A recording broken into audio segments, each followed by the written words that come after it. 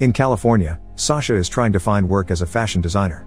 After graduating from college a year ago and having been to dozens of interviews, she still hasn't gotten any luck because of her lack of experience.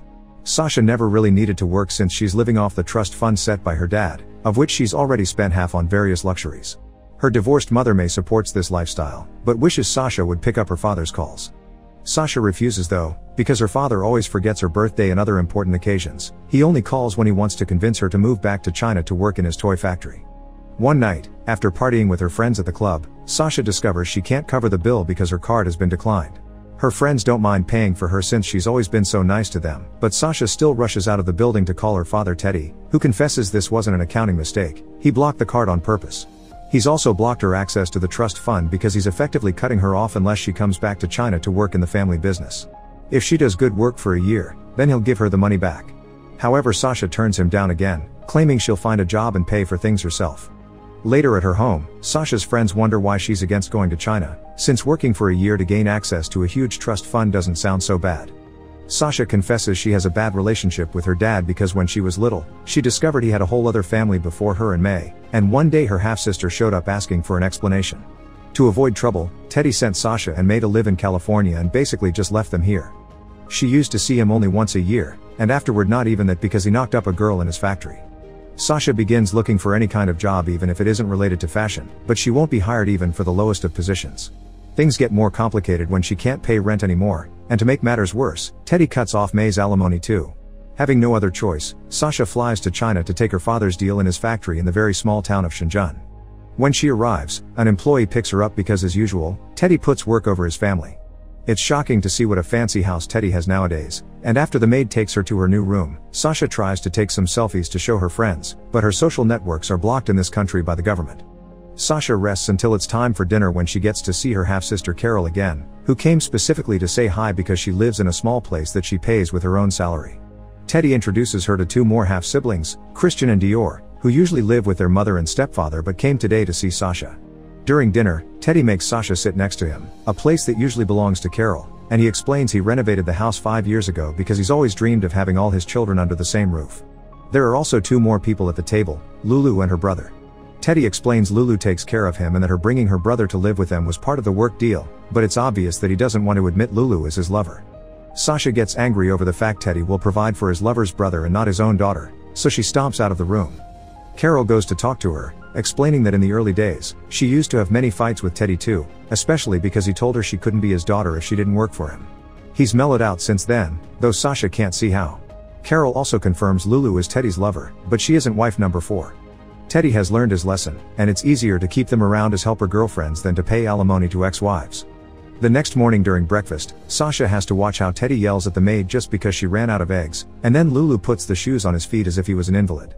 On the ride to the factory, Teddy only talks about business, and as soon as they arrive, he's already yelling at employees over small mistakes. Carol has prepared a nice desk for Sasha next to hers at the office, but Teddy doesn't want her to start there. First Sasha will experience the assembly line. After a long day of putting plush animals together, Teddy pays her the equivalent of 15 bucks, which is what the other assembly employees earn. Since she's living with Teddy and eating his food, Sasha gives the money to another employee that needs it more. Then, Teddy takes Sasha to have dinner at a local humble restaurant, leaving Carol behind to finish preparations for a meeting. Teddy wants her to experience how little he could eat when he was young because she was lucky to have a dad to pay for her studies, but Sasha thinks paying for your children's education is the bare minimum, and Teddy should put this much energy and dedication in spending time with his family. During the weekend, Sasha is bored of TV, and she still can't access social media. Teddy is away playing golf, so Sasha accepts to spend time with Lulu, who takes her to a salon that gives them wonderful massages and teaches her how to use the local social media. Lulu confesses she hates doing nothing, but Teddy doesn't let her have a job because he should be her only one. It would be difficult for her to get one anyway because Lulu never finished school, so taking care of Teddy is a good option because she can bring over her brother, who was born illegally under the only one kid per family rule. Once Teddy finishes his studies, Lulu hopes she can work in the salon again, and Sasha begins seeing her with more respect. Sometime later, Sasha begins attending the sale meetings with Carol and Teddy. A client that usually makes big orders only makes a small one this year, claiming that Teddy's toys aren't as wonderful as they used to be. Once the client is gone, Teddy calls the designers to yell and throw toys at them for humiliating him before ordering them to work overtime to create a new Christmas collection. Afterward, Sasha goes to see the designers at their office to see what they're doing, and she notices they're still doing the same old traditional designs that were called boring mere minutes ago. She throws some ideas at them, yet they don't understand her, and when she tries to use Google to help them see the concept behind design terms, she finds it blocked. Sasha realizes then that the company has boring designs because the designers don't have access to the outside world to learn about trends, so for now, she draws her ideas herself for them to use as guides. Then, Sasha goes to see Teddy to ask permission to take the designers to Hong Kong for market research, and Teddy accepts. Carol gets frustrated because she offered the same idea years ago and was turned down, but now Teddy is finally trying new things simply because he lost sales. Sasha takes the designers to Hong Kong and they have a wonderful day together learning about the incoming trends. During lunch, the designers are shocked to taste the wonderful hamburgers, because what they eat at the factory is as bad as prison meals.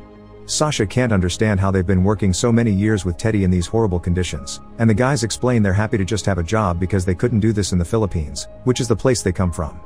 Teddy paid for one of the guy's treatments for his sick mother, and hired the second designer even when he just needed one to give him a chance. Unfortunately, their kids are still back in the Philippines with their grandmothers because daycare in China is very expensive. Most people in the factory see their children only during New Year. The next day at the factory, Sasha spends more time with the designers to help them with the new ideas.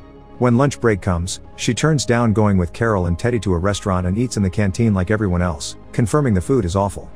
Sasha learns that there used to be fruit too and it got cut off, also that Carol never socializes with the workers. At the end of the day, Sasha convinces Teddy to add the fruit to the menu because it would help the morale, and the workers adore Sasha for it. The following day, Sasha and the boys present the new designs to Teddy. They're far from traditional and Carol is skeptical, but Teddy gives in when he remembers the last client wanted new ideas. During lunch, Carol expresses her worries over the incoming production, and Teddy explains he needs to take the risk because success is only proven if he can pass a thriving business to his children. Carol thinks that this philosophy just puts a lot of pressure on his children, but Teddy dismisses her thoughts. The next client to visit the factory is Margaret from the very important gift chain Dahlia's, who at first ignores Sasha's designs for not being traditional. However Sasha cuts in and offers an excellent marketing speech that makes Margaret change her mind and make a huge order of the new designs. After the meeting, Teddy congratulates Sasha on her initiative and lets her take care of Dahlia's account, which bothers Carol because she had been taking care of that one for years. In the evening, Carol and Sasha go to Hong Kong to celebrate. Over drink Sasha learns that Teddy had had many girlfriends while still married and had to pay for many abortions. Carol also confirms Teddy was still married to her mom when he met May, so both girls had been in the dark about the other family and were dumped in the USA when everything blew up. They lament not having been closer to Sasha when they were younger, but they're glad to reconnect now. Sometime later, Teddy gives Sasha a check with the rest of her trust fund. Sasha doesn't feel she's earned it, but Teddy assures her she's grown a lot since she's arrived. The next day Sasha gets a sample from Dahlia's order and decides to change the toy scarf for something with sequins. The worker warns her changes shouldn't be made this close to production and that this fabric was forbidden by Teddy, but Sasha assures her she can trust her orders. The following day, Dior and Christian come to stay with Teddy and Sasha for a few days because their mother is going to the USA to have her new baby. There is a parent-teacher conference at school soon and Dior wants Teddy to go, but Teddy doesn't even know what that is. He wants to send Sasha in his place, but then Dior begins crying because his dad never goes to any school activities, so Teddy gives up and accepts to go. Sometime later, they find out that Sasha's collection failed testing because the sequins are a potential choking hazard. Teddy is furious, and Carol yells at an employee for not letting her know about Sasha's changes since they knew about the fabric. However Sasha defends the workers, since it was her mistake, not theirs, angering Carol too by comparing her attitude to Teddy's. To solve the issue and avoid extra work, they end up sending a toy with the original scarf for the test, which is only a formality and the actual toys they sell have the new scarf anyway. A few days later, Dior shows up at the factory and makes a scene during a sales meeting, furious because Teddy sent Carol instead of going to the conference himself. Instead of talking to her, Teddy sends Carol and Sasha to take care of her while he stays with a client. The girls take Dior to another office and try to teach her that just because Teddy yells around the factory she shouldn't be doing the same. Dior doesn't care because she hates Teddy for having paid the judge to win custody yet he sent the kids back to their mom after a month of living with them. Sasha and Carol share their own awful experiences and teach Dior not to let the divorce define who she is. Suddenly, Teddy shows up in the office while arguing with Dior's mom on the phone, telling her she raised a monster. Sasha and Carol come in Dior's defense, pointing out she feels neglected and that Teddy already ruined two families so he shouldn't repeat the same mistakes. Then, the girls leave to let Teddy make up with Dior. Sometime later, the factory receives bad news from Dahlia's. A kid choked on the sequins and the entire stock had to be recalled, including the toys with no scarves. Now the factory is on Dahlia's blacklist and won't ever do business with them again. Furious, Teddy begins yelling at Sasha for ruining his business, ignoring Carol's attempts at defending a poor newbie's mistake. Teddy thinks Sasha did it on purpose to close the factory because she never wanted to work here and she thinks he treats the workers badly. Just for this, Teddy is canceling the bonuses and nobody is going home for the holidays, this way they can cover the lost cost. Teddy also calls Sasha useless and a disappointment, wishing she had never come in the first place. Hurt, Sasha goes back to the house to pack her things. Carol comes to see her, asking her not to react harshly because Teddy didn't mean it, he just likes to yell when he's angry.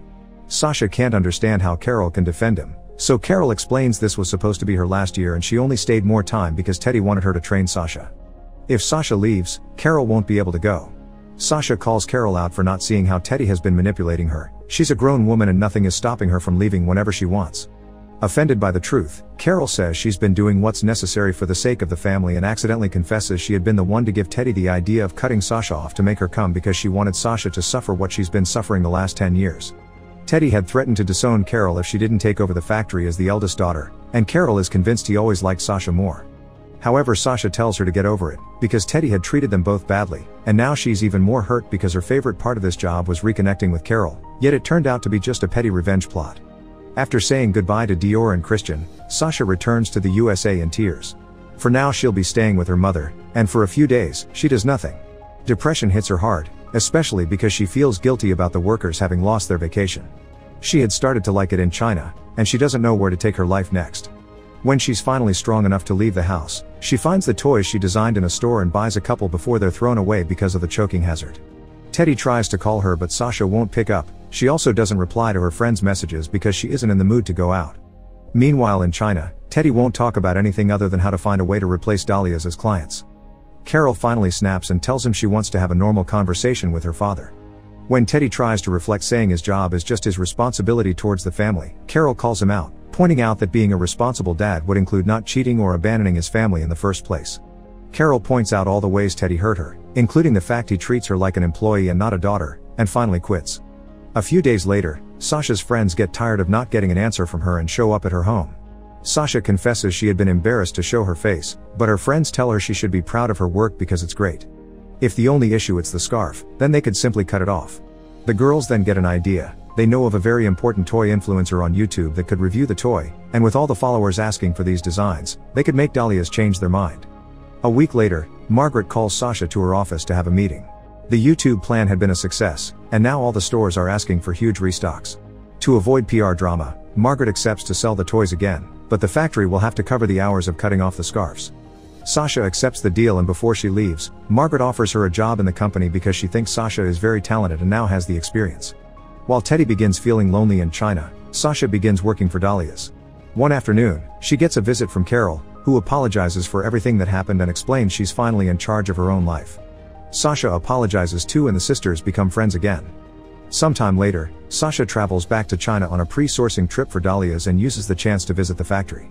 Sasha and Teddy apologize to each other, and after Teddy congratulates her on her new job, he confesses he found a way to pay the bonuses anyway. Morale is still low, so Sasha donates the money from her trust fund to provide on-site childcare in the factory.